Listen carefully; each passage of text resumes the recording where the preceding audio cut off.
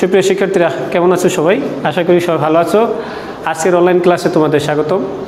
গতকালকে আমরা যে টপিকগুলো পড়েছি, যে টিস্যু নিয়ে, আমরা প্রাণীদেহের যে চার প্রকার টিস্যু সেটা নিয়ে দুটা টপিকস নিয়ে আমরা আলোচনা করেছিলাম, আবরণী টিস্যু এবং পেশি টিস্যু আজকে আমরা আলোচনা করব যোজক টিস্যু এবং স্নায়ু টিস্যু সম্পর্কে আমরা আলোচনা করব। তোমাদের গতকালকে যে বাড়ির কাজ ছিল, সেই বাড়ির কাজগুলো অবশ্যই তোমরা করেছ। এবং সেগুলো অবশ্যই সময় মতন জমা দিবে, আশা করি। তো আমরা দেখো, আজকে আমাদের আলোচনার বিষয় হলো যোজক টিস্যু এবং স্নায়ু টিস্যু। যোজক, এই কথাটার মানেই বোঝা যাচ্ছে যে একটা আরেকটার সাথে যোগ করার মতন বোঝা, তাই না? তেমনি যোজক টিস্যু হলো প্রাণীদের সেই সমস্ত টিস্যু যেটা বিভিন্ন অঙ্গের মধ্যে বা সংযোগ সাধন করে। কি বললাম? যোজক টিস্যু প্রাণীদেহের বিভিন্ন টিস্যু এবং অঙ্গ, দুটোই হয়ে। টিস্যু এবং কি? অঙ্গের মধ্যে সমন্বয় সাধন করে, সেটার নাম হলো আমার যোজক টিস্যু। এটা কঠিন হতে পারে, তরল হতে পারে এবং মেদমেয় হতে পারে। আমরা এই যে কঠিন, তরল এবং মেদমেয়ের কথা বললাম, সেরকম টিস্যু কী কী আছে? যেমন আমরা বললাম রক্ত। রক্ত এটা তরল না? তাহলে এই টিস্যুটা, এই তর, রক্ত কিন্তু এক প্রকার তরল যোজক টিস্যু বা তরল যোজক কলা, যেটাই বলি আমরা কেন? তাহলে এই রক্তটা, এটা তরল। আবার আমাদের যে হাড়, এটা কিন্তু কঠিন। তাহলে এইটাও কিন্তু যোজক টিস্যুর উদাহরণ। তাহলে এটা কঠিন। আবার আমরা তরুণাস্থি বলি, এই যে কান বা তোমার নাকের যে নরম হাড়টা আছে, এটাকে আমরা তরুণাস্থি বলি। এবং মেদময় কলা যাদের এই যে বুড়ি বলে আর কি আমরা, বুড়ি বলি না যে যে তার বুড়ি বেড়ে গেছে, পেট বড় হয়ে গেছে, এইগুলো হলো মেদময় কলা। এই যে টিস্যু, এগুলা, এই যে টিস্যুগুলা, এগুলো হলো যোজক টিস্যুর উদাহরণ। তাহলে আমরা যোজক টিস্যুটা হলো কি? যে টিস্যুটা বিভিন্ন অঙ্গের মধ্যে এবং টিস্যুর মধ্যে কি করে? সমন্বয় সাধন করে। সংযোগ স্থাপন করে, সেই টিস্যুটার নামই হলো কি? যোজক টিস্যু। আমরা উদাহরণ হিসেবে যোজক টিস্যুর কী কী উদাহরণ বলব? বলব আমরা রক্ত, হাড় এবং তরুণাস্থি কি বলব? এবং বলব আমরা কি? মেদময় কলা, যেটা আমাদের যোজক টিস্যুর উদাহরণ। এই যে যোজক টিস্যু, এই যোজক টিস্যুর কাজটা কি? তোমরা জানো আমাদের যে হাড়, এই হাড় গঠনের প্রধান উপাদান হলো ক্যালসিয়াম। এটা কিন্তু পরীক্ষা অবজেক্টিভে আসবে যে হাড় গঠনের প্রধান উপাদানটা কি? তাহলে হাড় গঠনের প্রধান উপাদান হলো কি? ক্যালসিয়াম। হাড় দেহের যে কাঠামো গঠন করে এবং দেহের বাটা কি করে, বহন করে না, আমরা যে হাঁটতেছি, আমাদের যদি হাড় না থাকতো, তাহলে কি আমরা হাঁটতে পারতাম? আবার আমাদের যে দেহে কাঠামোটা আছে, এটাও কিন্তু আমার এই হাড়টা গঠন করে এবং ধীরতা দান করে। করে কি না? অবশ্যই করে। এরপরে দেখো আমাদের যে পেশিবন্ধনী বা টেন্ডন পেশি, যেটা বলি আমরা, এটাকে হাড়ের সাথে যুক্ত করে। মেদমে কলা, স্নেহ পদার্থ যেটা, এটাকে সঞ্চিত রাখে। এই যে বুড়ি বেড়ে যাচ্ছে, তার মানে ওখানে কিন্তু অনেক স্নেহ পদার্থ সঞ্চিত আছে। বলে যে চর্বি বেরিয়ে গেছে, তাই না? এটা যদি কেটে যায়, তোমার পেট ছোট হয়ে যাচ্ছে। এইটা হলো এই যে তরুণ আই মিন যোজক কলা যেটা, এটার কারণে হচ্ছে। এটা স্নেহ পদার্থ কী করে? সঞ্চিত রাখে, মেদময় কলা যেটা। আবার তন্তুময় যোজক টিস্যু যেটা, এটা ফুসফুস এবং রক্তনালীর মধ্যে যে যে প্রাচীর আছে, এটার প্রাচীর যে সংকোচন এবং প্রসারণ যেটা, এটাতে সাহায্য করে। আবার কিছু হাড় আছে, যেটা নরম বললে, আমরা বললাম যে কি? এই যে তরুণাস্ত্রীর কথা বললাম, যেটা হাড়ের চেয়ে নরম এবং অন্য টিস্যুর চেয়ে বেশি টান এবং চাপ সহ্য করতে পারে। তুমি দেখো তো, তোমার কান যেটা আছে, এটাকে তুমি টানতে পারো। এবারে এরকম ভাঙতে পারো পারো না আবার কিন্তু তুমি দেখো তো, তোমার এই যে হাড়টা আছে, এই হাড়টা কি তুমি ভাঙতে পারবা?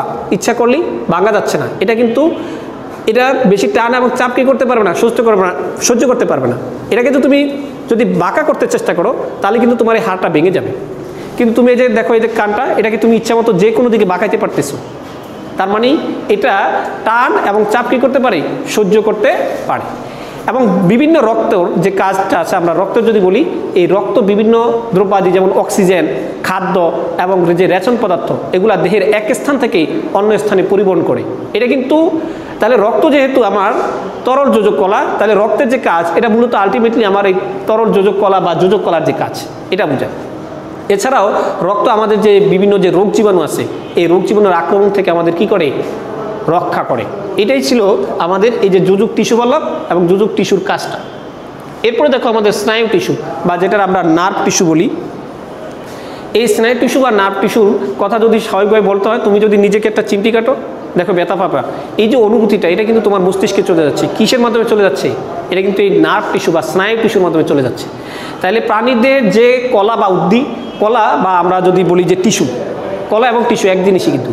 তাহলে প্রাণীদের যে কলা বা টিস্যু আমার উদ্দীপনায় সারা দিয়ে উপযুক্ত প্রতিবেদন সৃষ্টি করতে পারে তাকে আমরা বলব স্নায়ু টিস্যু বা নার্ভ টিস্যু, যার প্যারালাইজড হয়ে গেছে বা যার বলে যে অবশ হয়ে গেছে। সেখানে তুমি তাকে দেখো, যতই চিমটি দাও বা তার উপরে যদি মশা পড়ে, তার কিন্তু কোনো মানে হিতাই জ্ঞান থাকে না বলে বা সে কোনো টের পাচ্ছে না, যেটাই আমরা বলি না কেন। এর কারণ কি? মূলত আমার যে অংশটা অবশ হয়ে গেছে, সেখানে কিন্তু স্নায়ু টিস্যুটা নাই। এই স্নায়ু টিস্যু না থাকার কারণে তাকে যে মশায় কামড়াচ্ছে বা তাকে আমি মারতেছি বা চিমটি দিচ্ছি, তার কিন্তু কি নাই, অনুভূতি নাই। তাইলে যে টিস্যুটা আমার বা কলাটা উদ্দীপনা সারা দিয়ে উপযুক্ত প্রতিবেদন সৃষ্টি করতে পারে সেটার নাম হচ্ছে স্নায়ু টিস্যু। এই স্নায়ু টিস্যুর একক হচ্ছে স্নায়ু কোষ বা নিউরন। স্নায়ু টিস্যুর এককটা কি? স্নায়ু কোষ বা নিউরন। আমি এখানে একটা নিউরন এঁকেছি, দেখো। এই যে স্নায়ু কোষ বা নিউরন, এটা আমাদের যে মস্তিষ্ক আছে, এই মস্তিষ্ক অসংখ্য স্নায়ু কোষ বা নিউরন দিয়ে গঠিত। এই নিউরনের আমার তিনটা অংশ থাকবে। কয়টা অংশ থাকবে? তিনটা। সেটা দেখো আমি লিখে দিচ্ছি এখানে, ডেন্ড্রন কোষ দেহ আর কি? অ্যাকশন এই যে লম্বা অংশটা দেখতেছো, সেটা হলো অ্যাকশন আর এই যে বিক্ষিপ্তের মতো অংশটা দেখা যাচ্ছে, সেটা ডেন্ড্রন।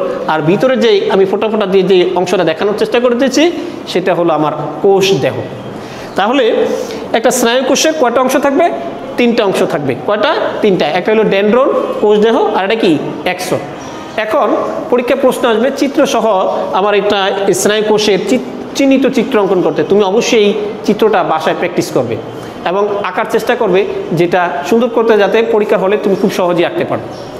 এই যে আমার যে স্নায়ু টিস্যু, এই স্নায়ু টিস্যুর কিছু কাজ আমরা যদি বলি, তাহলে স্নায়ু টিস্যুর কাজটা হলো এরকম যে দেহের বিভিন্ন ইন্দ্রিয় এবং সংবেদন গ্রহণকারী অঙ্গ থেকে গৃহীত যে উদ্দীপনা, এটা মস্তিষ্কে প্রেরণ করে। তুমি যদি মনে করো কেউ তোমাকে চিমটি দিল বা মারলো, তুমি যে ব্যথা পাচ্ছ, এটার যে উদ্দীপনাটা, এটা তোমার কোথায় প্রেরণ করে? মস্তিষ্কে প্রেরণ করে। এরপরে দেহের যে কার্যকর অংশ যেটা আছে, এটা আমার এই উদ্দীপনা যেটা, সেটা সারা দেয়। কার্যকর অংশটা কি করে? সারা দেয়। যেমন, মনে করো তোমার এখানে একটা মশা কামড়াচ্ছে। যখন তোমাকে মশা কামড় দিচ্ছে, তখন এই মশার কামড়টা, যে উদ্দীপনাটা, এটা আমার স্নায়ু টিস্যুর মাধ্যমে মস্তিষ্কে পৌঁছায় ফলে মস্তিষ্ক আমার হাতকে নির্দেশ করতেছে যে, মশাটা মারো। তখন তুমি মশাটা যখন কামড় দিচ্ছে, তখন তুমি মারা কি করতেছো? চেষ্টা করতেছো। তাহলে আমার যে দেহের যে কার্যকর অংশ এই যে হাত, এটা কিন্তু আমার ওই যে মশা যে কামড় দিচ্ছে, সেই উদ্দীপনা কি দিচ্ছে সারা দিচ্ছে এরপরে আমার যে উদ্দীপনা, আমার বা ঘটনা যেটা, এটা স্মৃতিতে ধারণ করে। মস্তিষ্কে ধারণ করে কে? কোষ বা স্নায়ু টিস্যু। দেহের বিভিন্ন যে শারীরবৃত্তীয় যে কাজের মধ্যে, এটার মধ্যে সমন্বয় সাধন করে। এটা হলো আমার স্নায়ু টিস্যুর কাজ। সুপ্রিয় শিক্ষার্থীরা, আমরা যোজক টিস্যু এবং স্নায়ু টিস্যু সম্পর্কে জানলাম।